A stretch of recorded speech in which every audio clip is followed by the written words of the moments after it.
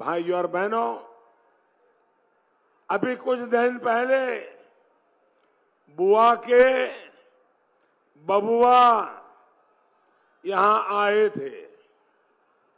तो उन्होंने कहा था कि भाजपा वालों की बात शौचालय से शुरू होती है और वहीं खत्म हो जाती है।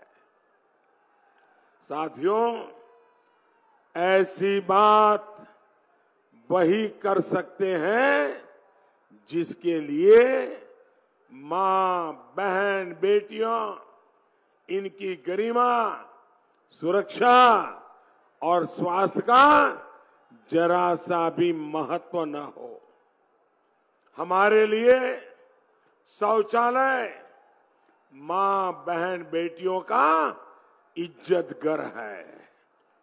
स्कूलों में शौचालय बने हैं तो बेटियाँ पढ़ाई कर पा रही है। माँ बहन बेटियों को शौच के लिए अंधेरा हो, इसका इंतज़ार नहीं करना पड़ता है। साथियों, ये वही काम है जिसकी चिंता राम मनोहर लोहिया जी खुद किया करते थे। वो कहते भी थे कि महिलाओं की सबसे बड़ी दो समस्या है। और लोहिया जी कहते थे, महिलाओं के सामने एक समस्या पानी की और दूसरी समस्या पैखाना। साथियों, अपने पाँच साल इस कार्यकाल में हमारी सरकार ने महिलाओं के लिए 10 करोड़ से ज़्यादा शौचालय बनाए।